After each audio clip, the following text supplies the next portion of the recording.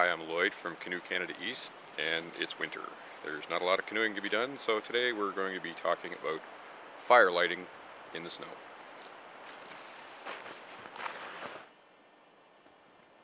One of the first things you'll notice is there's snow everywhere, all over everything. So where do you find dry wood and tinder in all of this? Well, let me show you.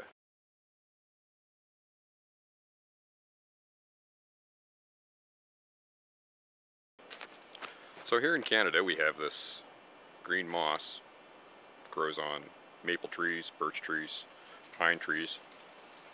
It makes a very, very excellent tinder in the summer. Now if you're lucky enough to find some of this hanging off a tree, you can stick it in your pocket, let it dry out over the course of a few hours. It's not very reliable if you're out skiing, you get hurt, need a fire now.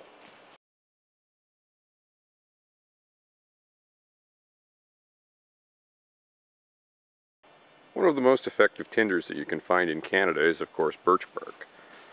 Unfortunately in the wintertime, especially after an ice storm, quite frequently it's covered with ice and snow and is less reliable than it would be in the summer. This isn't a problem if you're able to collect it, put it in your pocket and let it dry out for a few hours.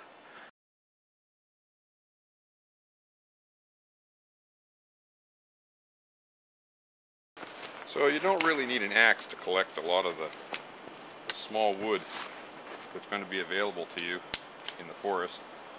A lot of these dead standing fir trees, spruce trees and such, will have absolutely fabulous dry wood all year round. It's easily collectible.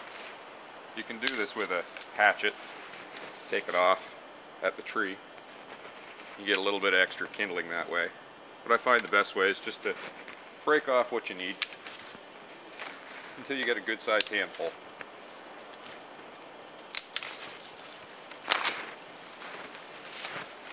And there we go. So here we are with a bunch of firewood. Let's see if we can make this uh, into a campfire.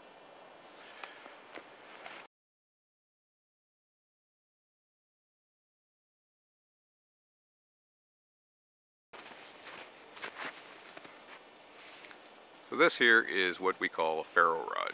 Available pretty well anywhere, any sporting goods store, you can even get them at Canadian Tire and when you open it up what's inside a rod and a striker and what do you get when you scrape one against the other sparks and these are the sparks that we're going to use to try and light our fire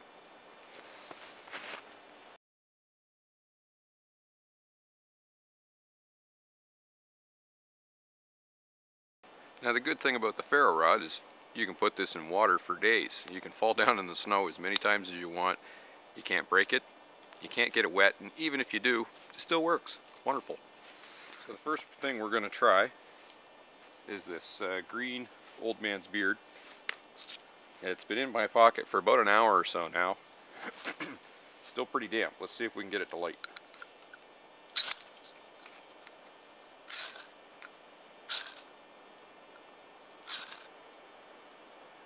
Well, still pretty damp. I don't know, it's smoking a bit. Oh, there it goes. Oh, briefly.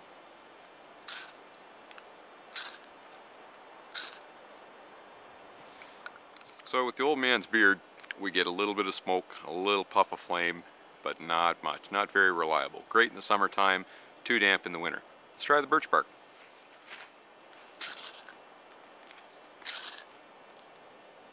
Oh, will you look at that? We got flame. So the birch bark is a great deal more reliable than the old man's beard.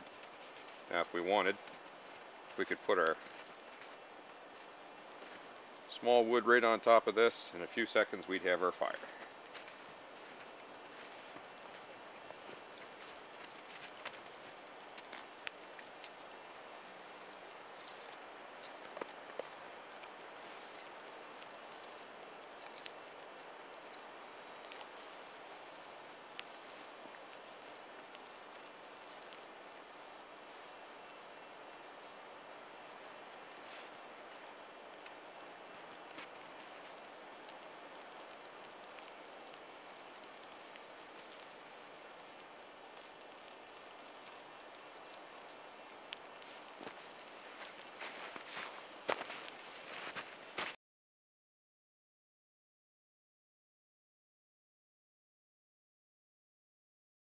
So now if you don't have a lot of time to light a fire and you don't want to go looking for birch bark, you don't want to go looking for old man's beard, which may or may not work, there's something else that you can bring with you and everybody has access to it.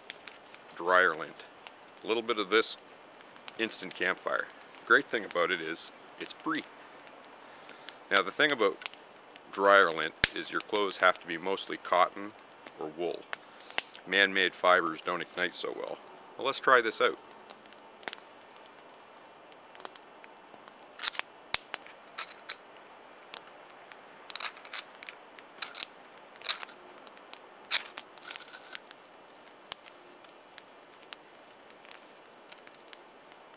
Dryer lint. Works every time.